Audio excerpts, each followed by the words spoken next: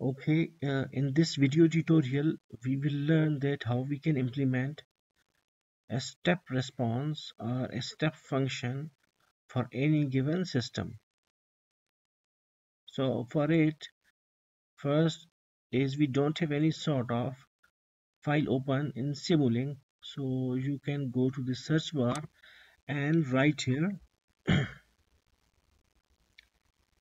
the step and just press this search option. Now you can see that there is a step function. Right click on it and add block to new model. Okay. Now we got our step function. Also make it a little bit zoom for better visuality.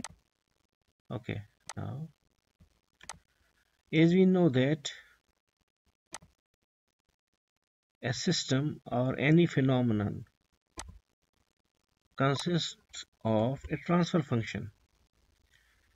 Just like if a mass is attached with a spring and is moving up and down or if, if it is having some sort of damping then there must be a transfer function for this mass attached with the spring.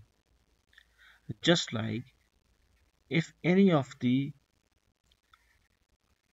car or vehicle part is moving there must be a transfer function for that process or mechanical movement.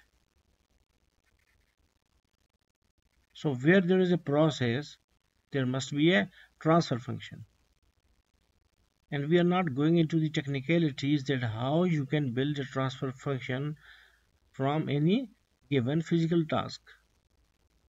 We just used to write transfer function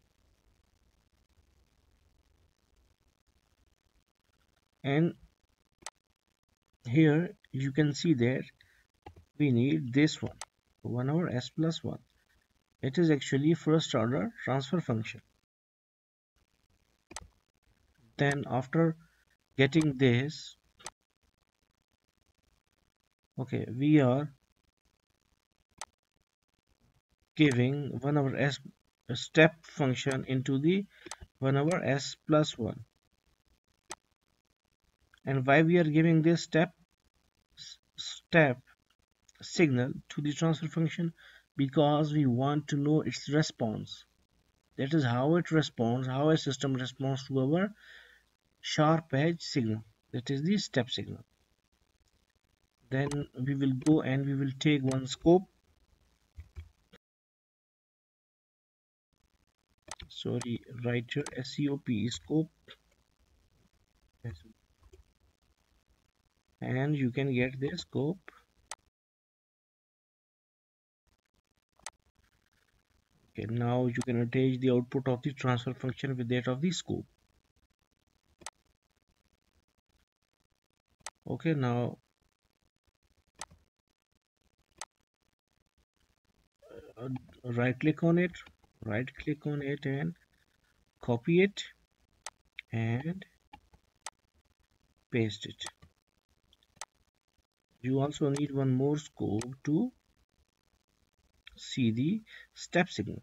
So also do one thing that click on this transfer function and here this is for numerator that is 1 and this is denominator coefficients. What it means that actually it is 1s1 plus 1s0 so 1 s0 is 1 and 1 s raised to the power 1 is s.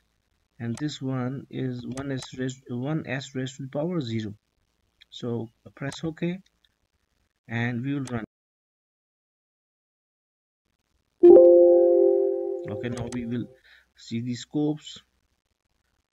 Now this is our step response and this is our actual step function. Now you can see that the step response uh, you can yeah, you can do it like that okay.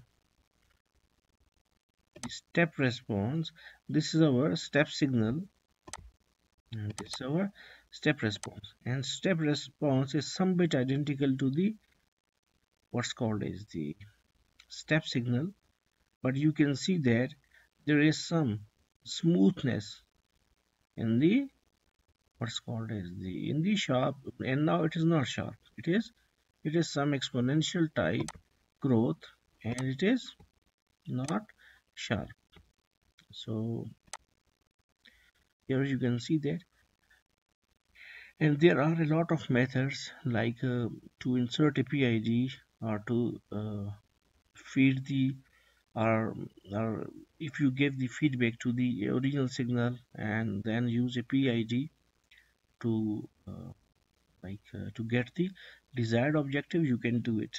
But if because uh, we know that if a signal goes into any system the system will behave obviously will behave in such a way that the input signal will be changed.